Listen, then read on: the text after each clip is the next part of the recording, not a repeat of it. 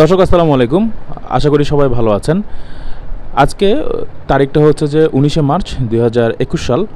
বাইকে করে বাঁশখালীতে এসেছি। সারাটা দিন এই বাঁশখালীতে ঘুরবো। একই সাথে এই ব্লগটাতে আমি বাঁশখালীতে কি কি করেছি এবং নতুন কি কি এক্সপিরিয়েন্স নিয়েছি, কোন কোন জায়গায় ঘুরেছি সব কিছু আপনাদের সাথে শেয়ার করব। চলুন এই ব্লগটি শুরু করি। জার্নিটাতে সবাইকে স্বাগতম। একদম চট্টগ্রামের জিসি মোড় থেকেই শুরু করতেছি। প্ল্যানটা হচ্ছে প্রথমে জিসি মোড়ে আমি আখতারুজ্জামান ফ্লাইওভারে উঠলাম বদ্ধরাটে নামবো। বদ্ধরাটে আমার বন্ধু মহিব আছে। মহিবকে পিক করতে হবে। সে বাসখালেরই কৃতি সন্তান।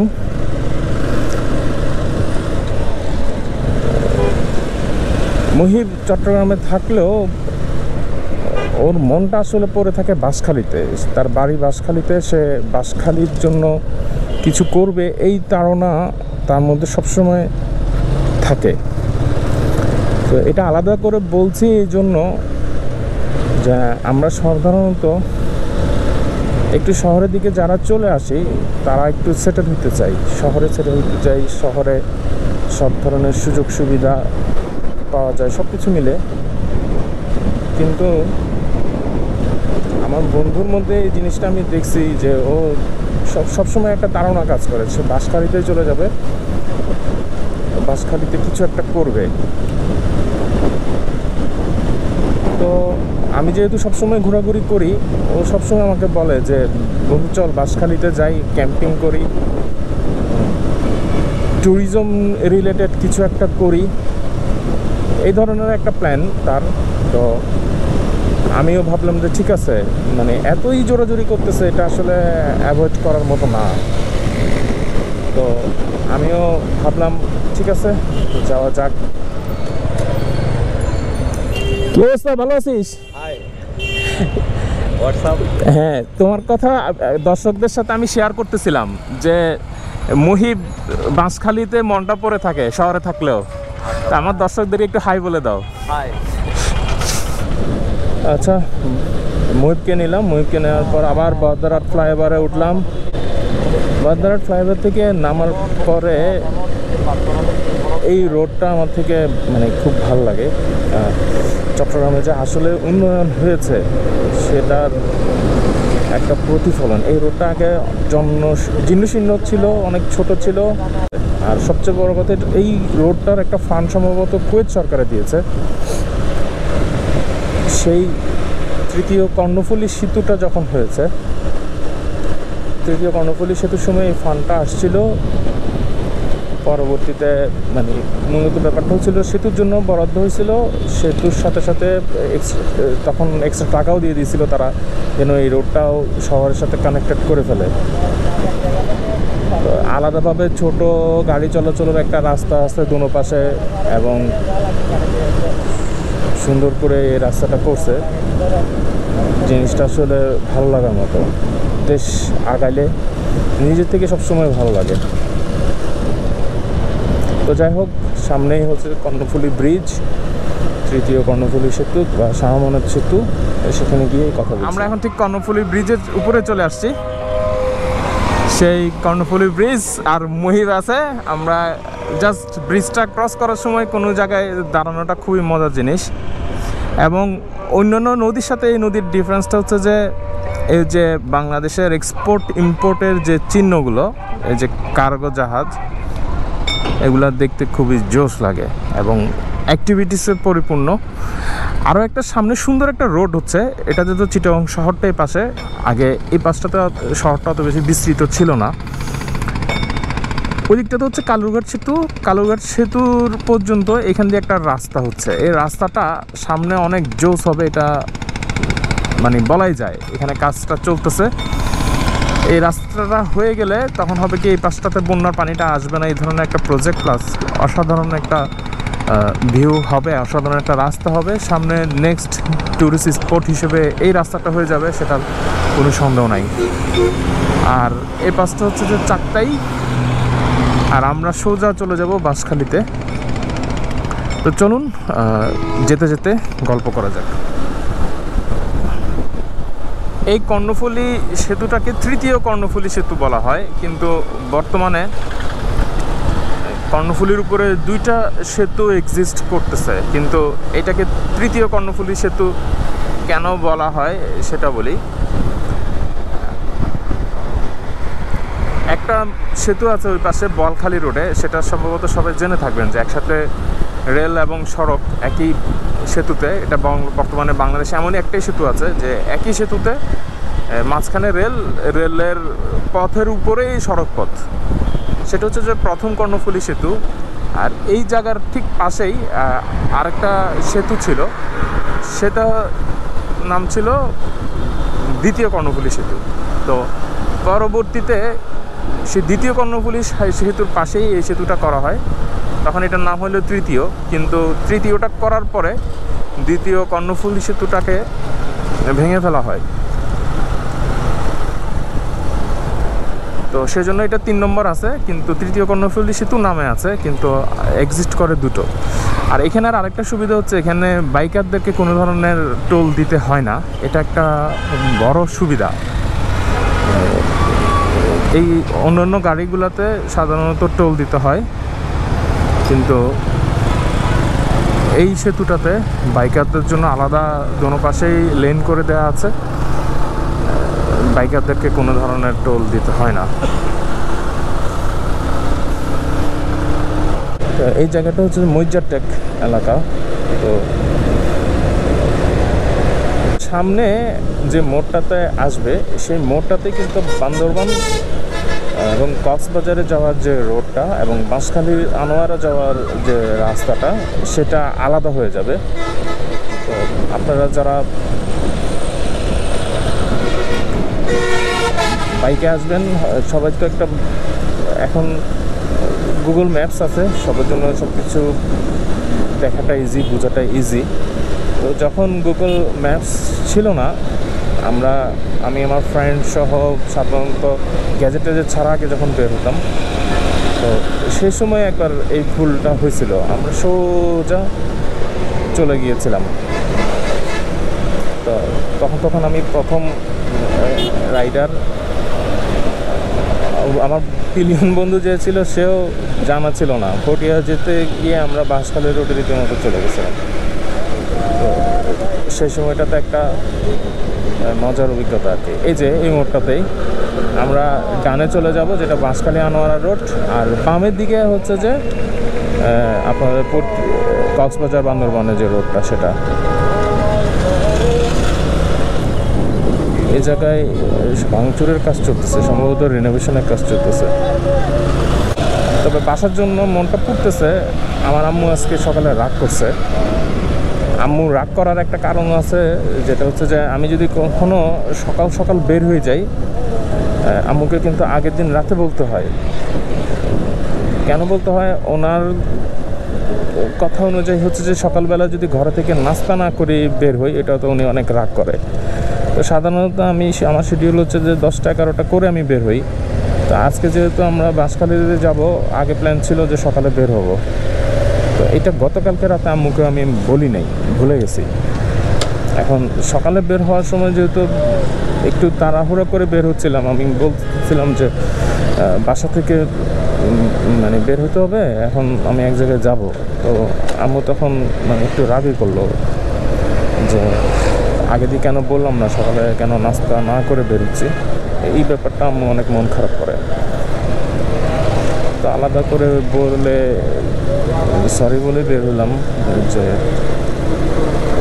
সামনে হবে না। তো ছোটোখাটো এই ব্যাপারগুলো তো মায়ের প্রতি আলাদা একটা মানে এই যে যাচ্ছি এখনও মায়ের কথা মনে পড়তেছে, যে আম্মু ব্যাপারটা একটু মনক্ষুণ্ণ হয়েছে। একটা খারাপ লাগার জিনিসটা হচ্ছে যে গাছগুলো কেটে ফেলা হইতেছে। রাস্তাটা বড় হয়ে যাবে। এত সুন্দর যে রাস্তাটা, এই যে দুনো পাশে করে গাছ। আগে ঢাকা চিটাঙ্গের রোডটাও কিন্তু এই ধরনের সুন্দরী ছিল। ঢাকা চিটাঙ্গ রাস্তাটাও যখন এক্সপান্ড করল, বড় করল তখন সবগুলা গাছ কেটে ফেলছে দুনো পাশের। কিন্তু গাছগুলো কাটার পরে করে গাছটাই যদি আবার সুন্দর করে লাগা দিত মানে আবার ছায়া হইতো অনেক। কিন্তু এখন দেখা যাচ্ছে যে এখনও দোনো পাশে ওভাবে আর গাছ লাগাইতেছে না। শুধু রোড ডিভাইডারের মাঝখান দিয়ে কিছু কিছু গাছ লাগাইছে। এটা হচ্ছে কোরিয়ান এই যে সুন্দর একটা রাস্তাতে চলে আসছি, আমরা চাতুরির চমুনি ক্রস করলেই।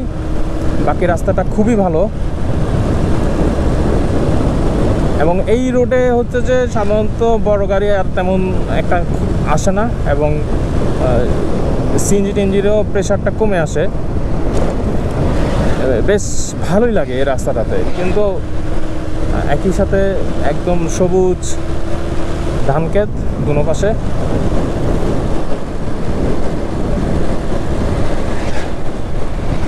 খুবই খুবই ভালো লাগার একটা রাস্তা এটা। মানে আফসোস লাগতেছে।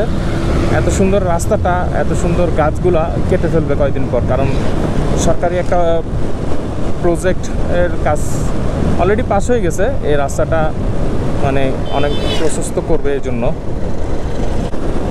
তো যতটুকু সম্ভব এই রাস্তাটার ভিডিও আমি করে রাখতেছি এই জন্য, কারণ কয়েকদিন পরেই এত সুন্দর ভিউগুলো আর থাকবে না। আমার মনে হয় আর মাসখানেক কিংবা এক দুই মাসের মধ্যেই এই গাছগুলো কেটে ফেলবে। এই গাছগুলোর জন্যও আফসোস লাগতেছে, রাস্তাটার জন্য আফসোস লাগতেছে। তবে উন্নয়নের স্বার্থে মেনে নিতে হবে। এমনও হতে পারে যেন রাস্তাটা প্রশস্ত করার পরে হয়তো খুব সুন্দর করে আরও সুন্দর প্ল্যান করে গাছপালা লাগাইতে পারে, তখন ভিউটা আরও জোস হতে পারে। তবে মিস করব আর কি। এখনকার এই সময়টাকে মিস করব। আর পিছ থাকা আমার বন্ধু মুহিব যে আছে,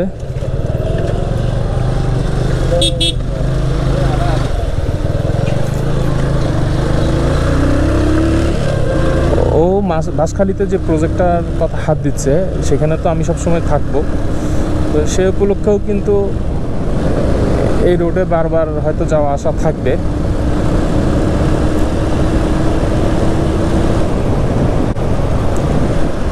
তবে বাঁশখালীর রাস্তায় আপনারা যারা আসবেন তারা একটা সাবধানতা অবলম্বন করবেন।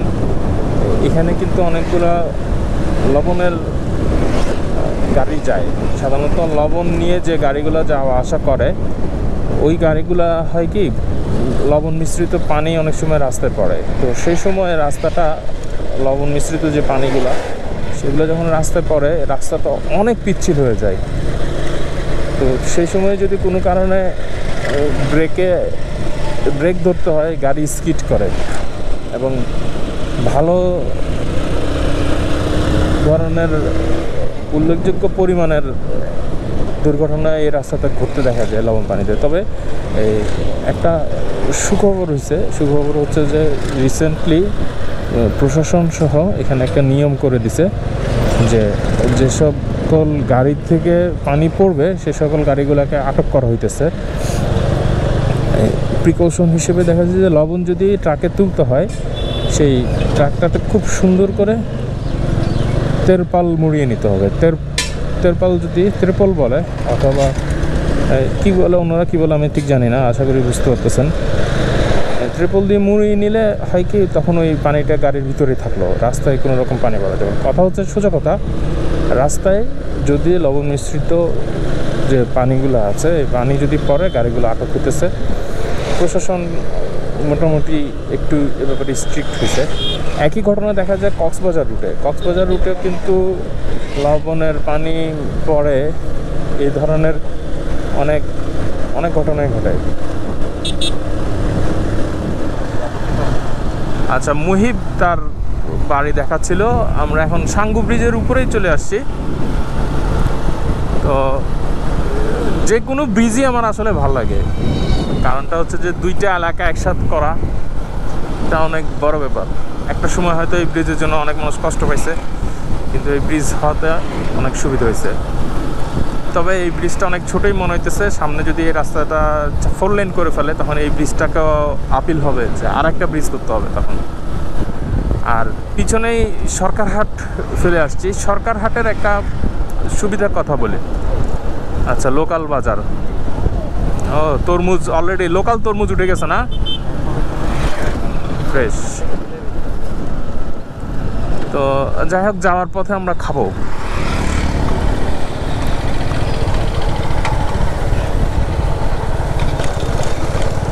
এই আমরা কি ভুল করছি? বাইকে দিতে হবে? কত নিল? কত নিল? কেন দশ টাকা নিল? কি কি, এখানে তো কোনো টোল প্লাজা নাই। এখানে তো কোনো টোল প্লাজা নাই। হুদাই নিল। তাই? আচ্ছা যাই হোক। সাধারণত টাকা নিলে তো একটা টোকেন দেওয়ার কথা। টোকেনটা কই? তাহলে তো সরকার টাকা পাইলো না আর, ঠিক না?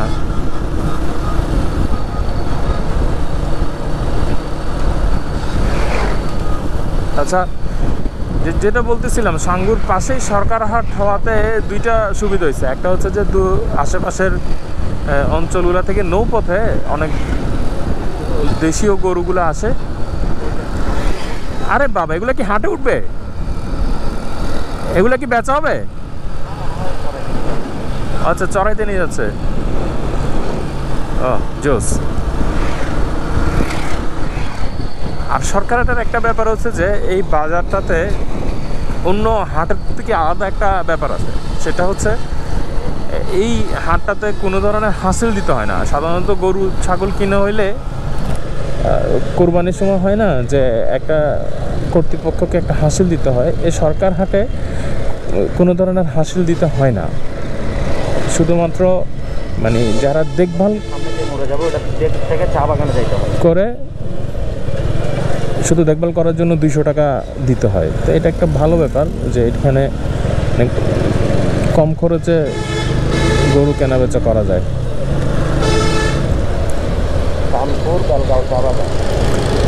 সামনেই বেলগাঁও চা বাগান। বেলগাঁও চা বাগান আমার মনে হয় চার বছর আগে একবার আসছিলাম মাঠের সামনে হ্যাঁ মাঠের সামনে থেকে বামে যাইতে হবে তো চাঁদপুর বাজার বলে। হ্যাঁ চাঁদপুর বাজার। চাঁদপুর বাজারে হচ্ছে যে বেলগাঁও চা বাগানটা। এখানে যারা চা বাগানে যাবেন, তারা এই চাঁদপুর চা বাগান চাঁদপুর বাজারে নামলেই হবে। এই বাণীগ্রাম পুরাতন বাজার বাঁশখালী। রবি মিষ্টান্ন ভান্ডার আমার বন্ধু অনেকগুলো মিষ্টি কিনলো।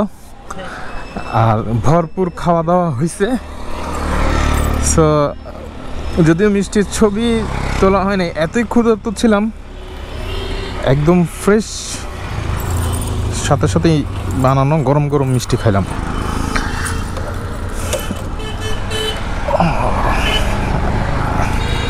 আমি রেকমেন্ড করব যারা আসবেন।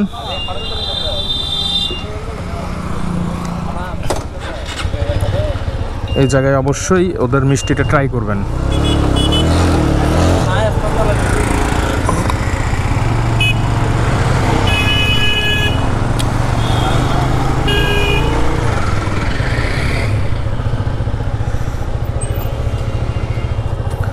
সো আমাদের যাত্রাটা আমরা এখন একটু পরেই হাতের ডান দিকে চলে যাব বিচের দিকে। মেন রোড থেকে নেমে যাব। বাও ভরপুর খাওয়া দাওয়া হয়েছে বন্ধু খুব ভালো ছিল মিষ্টিটা ওদের মিষ্টিটা খুব ভালো ছিল। হ্যাঁ আমি তো প্রায় সময় খাই তো তাই না? মানে এরকম বাইকে করে যখন ইয়ে করে এখানে যারা আসবে তাদের জন্য এটা মাস্ট ট্রাই একটা আইটেম হ্যাঁ হ্যাঁ ওরা নিজেরা বানাচ্ছে ফ্রেশ এবং যেটা দেখলাম মানে হ্যাঁ তার মধ্যে ব্যাপারটা হলো ওরা চাহিদা অনুযায়ী দিতে পারতেছে না এত বেশি চাহিদা। এবং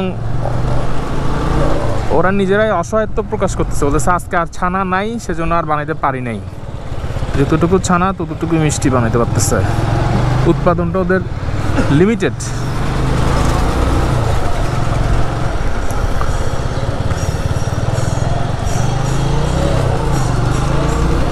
এটা কি?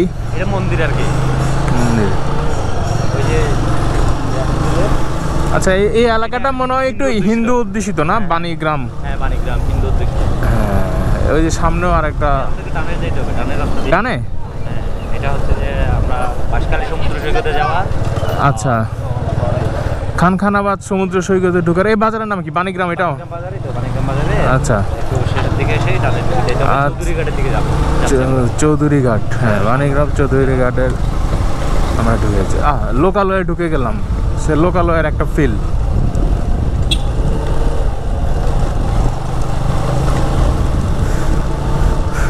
চলুন তাহলে এই বাণীগ্রামের ভিতর দিয়ে খানখানাবাদ সমুদ্র সৈকতে।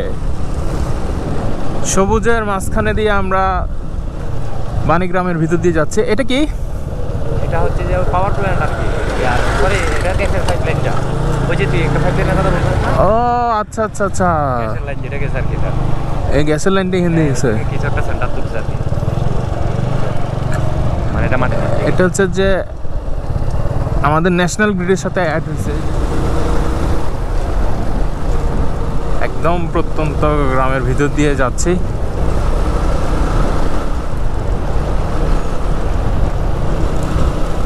তবে অন্যান্য বিচে যেটা হয় যে অনেক কোলাহল। এই বীজটা হচ্ছে যে একদম নিজেদের মতো কোনো কোলাহল নাই।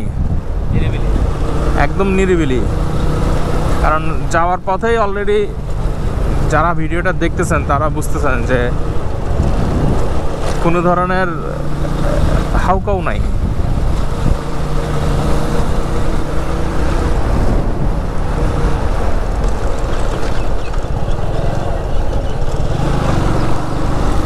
রাস্তাঘাটও এখন পর্যন্ত যতটুকু দেখলাম সব ঠিকঠাকই আছে। হ্যাঁ? তো যে রাস্তা যতটুকু দেখলাম সব কোনো ঝামেলা নাই। রাস্তাও ঠিকঠাক আছে।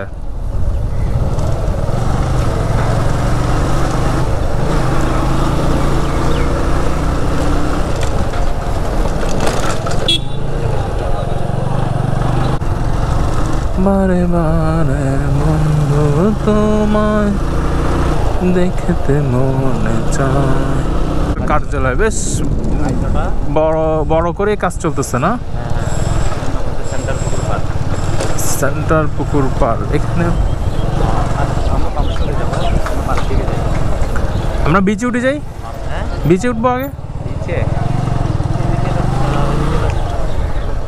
এখানে একটা কিছু বলতে চাই যে এই ওই পাশে হচ্ছে যে বেড়িবাঁধ। বেড়িবাঁধের পাশাপাশি এখানে মাটি খুঁড়ে মাছের জন্য প্রজেক্ট করতেছে। কিন্তু এটা হচ্ছে যে একটা আত্মঘাতী সিদ্ধান্ত। কারণ বেড়িবাঁধটা মাছ একটু যদি ঘেরটা ভেঙে যায় তাহলে হবে কি ওই বেড়িবাঁধটা আবার ভেঙে যাবে, এই পাশ থেকেও ভেঙে যাবে। এই যে এই যে মাছের প্রজেক্টের জন্য বেড়িবাঁধ ঘেসে যে প্রজেক্টগুলো হইতেছে, এগুলো সম্পূর্ণ আত্মঘাতীমূলক মনে হচ্ছে আমার কাছে। তো মুহিবদের সাথে, মুহিব, আমার ফ্রেন্ড আমার সাথে যাই আসলো, সে সাধারণত তাদের একটা কমিউনিটি আছে, তারা চেষ্টা করতেছে যে এলাকা মানুষকে যেন সচেতন করে। তারা যেন এই ধরনের আত্মঘাতী সিদ্ধান্তগুলো না নেয়। কারণ এই যে বেরিবারটা হলো, এটা হাজার হাজার কোটি টাকা খরচ করে এই এই পাশে যারা মানুষজন আছে, তাদের সেফটির জন্য বেরিবারটা হইল যেন কোনো ধরনের প্রাকৃতিক দুর্যোগ হলে পানিগুলো এই পাশে না আসে। এখন এত, এতগুলো টাকা দিয়ে একটা প্রজেক্ট করল, এই পাশে আমরা মাছের ঘের করে জায়গাটাকে যদি নষ্ট করে দিই, তাহলে হচ্ছে যে সবাই ভুক্তভোগী হবে। তো এগুলো আসলে মানুষের কিছু কিছু ব্যাপারে কমন সেন্স সব জায়গায় যে, ঠিক আছে, আমার জায়গা আছে সেই জায়গায় আমি ইচ্ছা মতো ব্যবসা করব। পরিবেশের ক্ষতি করে, অনেকগুলো মানুষের ক্ষতি করে ব্যবসা করব, এই ধরনের তো করা উচিত না। সো আপনারা যারা দেখতেছেন এই ব্যাপারটাও মাথা রাখবেন আর কি। অনেক সময় হয় কি আরেকজনের মানে অনেকের সুবিধার জন্য নিজেকে একটু ছেড়ে দিয়ে আসতে হয়। যে আমার জায়গা আছে, আমি যা ইচ্ছা তা করব, এই ধরনের মানসিকতা হলে হয় কি? তখন নিজে একটু লাভবান হইতে পারে, কিন্তু সামষ্টিকতা অনেকের ক্ষতি করে কিন্তু আলটিমেটলি জিতা যায় না। যে ব্যবসায় নিজের পাশাপাশি আরও দশজনের লাভ হবে সেটা হচ্ছে যে মূলত ব্যবসা। আর যে ব্যবসায় আমি একজন লাভবান হলাম, কিন্তু আমার সাথে সাথে আরও একশো জন ক্ষতি ক্ষতিগ্রস্ত হলো, সেটা কিন্তু কোনোভাবেই কাম্য না।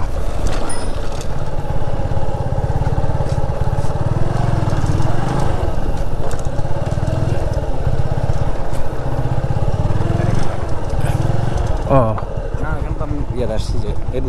এটা এটাকে ডেকোরেট করব চিন্তা আচ্ছা।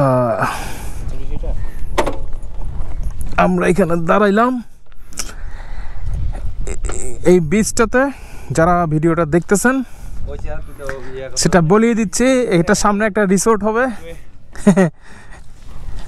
এখানে চাইলে যে কেউ এসে রাতে থাকতে পারবে। থাকার সুবিধা আছে, সব ধরনের সুযোগ সুবিধা করা হবে। আমাদের এখানে একটা ঘর নেওয়ার প্ল্যান আছে। সামনে থাকার প্ল্যান আছে যে চাইলাম প্রতি বৃহস্পতিবার শুক্রবার আমরা এখানে থাকব এই ধরনের। আর ওখান থেকে মাছ আসছে। দেখাই কি কি মাছ আসছে।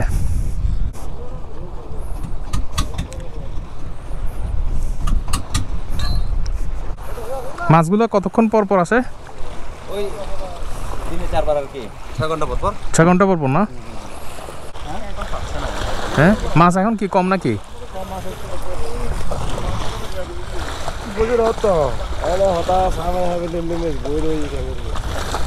এখন মাছ কম না? কি মাছ বেশি থাকে এখন? ইজা মাছ। তার মানে হচ্ছে যে এখানে যারা আছে ওরা মাছগুলো কিনবে। ও সবগুলো তো চিংড়ি মাছ।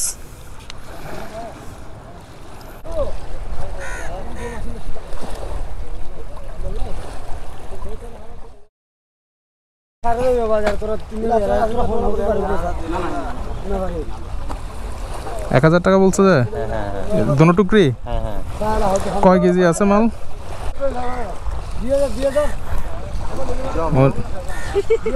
উনি দুই হাজার টাকা চাচ্ছে। ওরা এক হাজার বলছে তো। হ্যাঁ। মানে বিক্রেতা তো নাই ও আঠারোশো টাকা বলতেছে।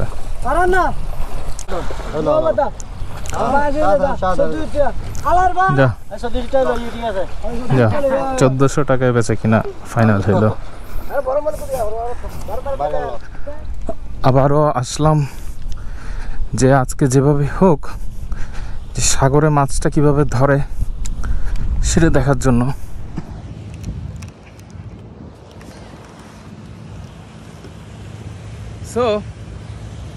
আমাদের তো ব্যাপারটা হচ্ছে যে মিস করে ফেলছে আসলে, যে খুব ইচ্ছা ছিল আজকে ওখানে যাব, গিয়ে মাছ ধরার প্রসেসটা দেখব। দেখা হইল না, তবে আজকে সারাদিন জেলেদের সাথে কথা বলতেছিলাম।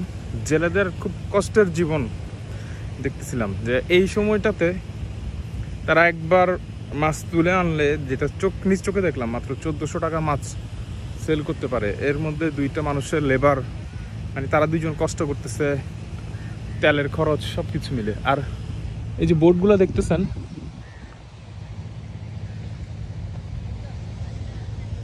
এগুলা এই মুহূর্তে সাগরে যাচ্ছে না।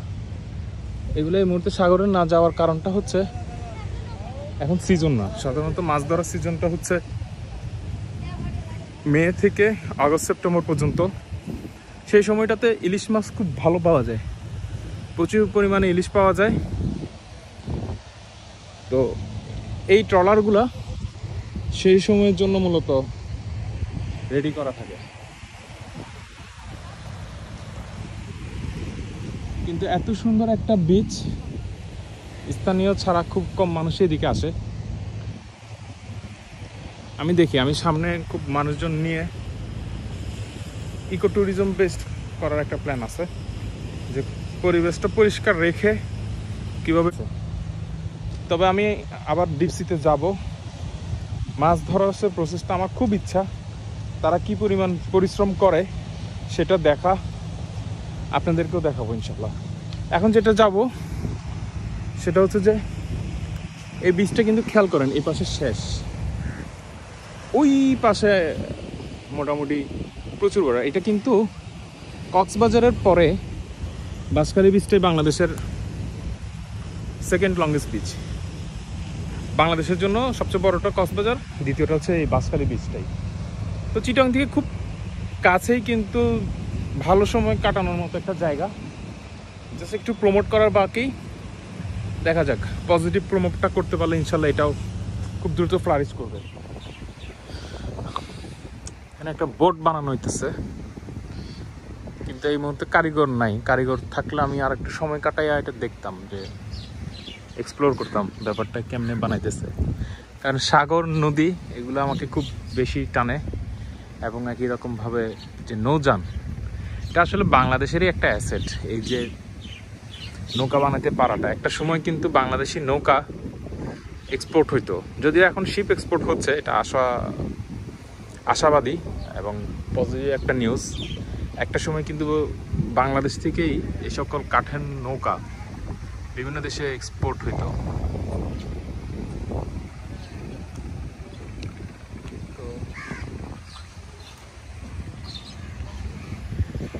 ফিশিং ট্রলার সাধারণত সাত থেকে নয় লাখ টাকা খরচ হয় এরকম একটা ফিশিং ট্রলার তৈরি হইতে। যাক বিস্তারিত এলাকায় আসলে আরও বেশি বোটের উপর প্রতিবেদন কিংবা ভিডিও ডকুমেন্ট করার ইচ্ছা আছে। এই এই এলাকা আমি মাস্ট ইনশাল্লাহ আবার আসব। এত ভালো লাগতেছে আমার জায়গাটা। লোকালয়, পাশাপাশি সমুদ্র মানে লাইফ স্টাইল বিভিন্ন ধরনের লাইফ স্টাইল সো আমাদের পরবর্তী প্ল্যান হচ্ছে আমরা সৈকত ধরে একদম বাঁশখালী সমুদ্র সৈকতটা পুরোপুরি ঘুরবো। কারণ মাছ ধরা ট্রলারে উঠার প্ল্যানটা মিস হয়ে গেল। বন্ধু না আসতে পারার কারণে। আচ্ছা যাই হোক আল্লাহ যা করে ভালোর জন্য করে ঠিক না? হয়তো সামনে আমাদের ভালো কিছু রাখছে এই জন্য আমরা আজকে উঠতে পারিনি। হ্যাঁ, আল্লাহর উপর ভরসা রাখতে হবে। এবং আমাদের হাদিসে কিন্তু আছে মন খারাপ করা যাবে না এবং হতাশ হওয়া যাবে না হ্যাঁ? যে খারাপ সিচুয়েশনে আসুক আমি হয়তো মনে করতেছি আমার জন্য খারাপ সিচুয়েশন হ্যাঁ? কিন্তু দেখা গেল যে ওইটা আল্লাহ আমার ভালোর জন্য কিছু রাখছে। এই যে এখন এখানে যাইতেছি, এই রাইডটাও কিন্তু বাইক রাইডটা আর পাইতাম না, কিন্তু এখন আমার ভালো লাগতেছে। তো যাই হোক বন্ধু বান্ধব নিয়ে সামনে ক্যাম্প করার ইচ্ছা আছে, যারা ইন্টারেস্টেড জানাবেন। ভিডিওর নিচে আমাদের এখানে গ্রুপের লিংক পেজের লিংক দেয়া থাকবে। ইনশাল্লাহ সামনে ক্যাম্প করব। আমরা আবার হ্যাঁ চাইলে আমরা বিচে নামতে পারি না? কিন্তু বিচে তো বালু বেশি। হ্যাঁ তাহলে আমরা বেরিবাদে উঠি। আমরা বেরিবাদে উঠে গেলাম। বিচে নামাচ্ছে। তাহলে হচ্ছে কি দোনো পাশের ভিউটা। এদিকে দেখেন সবুজে গালিচা। সুন্দর একটা ভিউ। আর এদিকে হচ্ছে যে সমুদ্র সৈকত। আমি একটু দাঁড়াই এখানে দাঁড়াই আমি কিছু ছবি নিব। তো এই বীজটা প্রায় পঁয়ত্রিশ কিলো খুব কমই আমি বাইকে চড়ে দেখাইতে পারছি। বাকিটুকু ভবিষ্যতে এক্সপ্লোর করার চেষ্টা করব। ভিডিওটা এখানেই শেষ করছি। তো বাঁশখালী বিচ নিয়ে যদি আরও কোনো কিছু জানার থাকে তাহলে কমেন্ট সেকশনে জানাবেন। কোনো ফেসবুকে গ্রুপ থাকলে আমি সেটা ডেসক্রিপশনে দিয়ে দিব। আমি চাই যে বাঁশখালী বিচটা আরও বেশি প্রমোট হোক মানুষ আসুক, এই এলাকার জীবনযাত্রার মান চেঞ্জ হোক, মানুষগুলোর ট্যুরিজম সেক্টরটা গড়ে উঠুক। চিটাগং থেকে খুব কাছেই যে কেউ চাইলে সহজে চলে আসতে পারবেন। বালির মধ্যে কিন্তু বাইক পার্ক করা বেশ ঝামেলার। স্ট্যান্ডে রাখলে বালির ভিতরে চলে যায়। এখানে একটু সমস্যা আমি পড়েছিলাম তো যেটা বলছিলাম যাদের যদি কারও হেল্প দরকার হয়, সেক্ষেত্রে আমার ইন থেকে আমি হেল্প করার চেষ্টা করব। এই এলাকার ট্যুরিজমটা যেন গড়ে ওঠে, সে ব্যাপারে আমি আমার পক্ষ থেকে যথেষ্ট হেল্প করার চেষ্টা করব। আর আমার ফেসবুকে আমাদের গ্রুপ আছে, সেই গ্রুপটাতেও আপনারা অ্যাক্টিভ থাকার চেষ্টা করবেন। সেখান থেকে অনেক সময় আমরা দল বলে কিংবা আমাদের বন্ধুবান্ধব যারা আছে, তারা সহ বিভিন্ন জায়গায় ঘুরতে চলে যাই। সেই জায়গাগুলোতেও আপনাদের যারা ভিডিওটা দেখছেন তাদের আমন্ত্রণ রইল। আমাদের সাথে ঘুরতে পারবেন।